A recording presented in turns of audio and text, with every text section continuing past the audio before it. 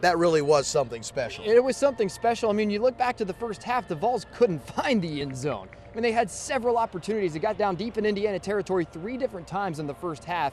They couldn't find the end zone.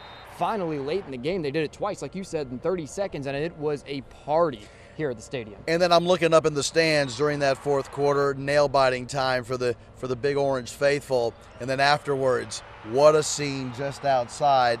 The fans euphoric.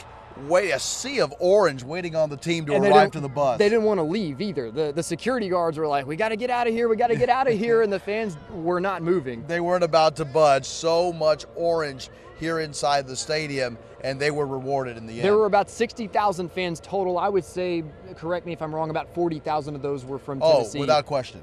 And and there was a there was a specific time late in the game when Tennessee was making that comeback later in the game where it kind of felt like Neyland in here. Make no mistake, not 100,000 fans in here, but it kind of it was loud. It felt like a home game.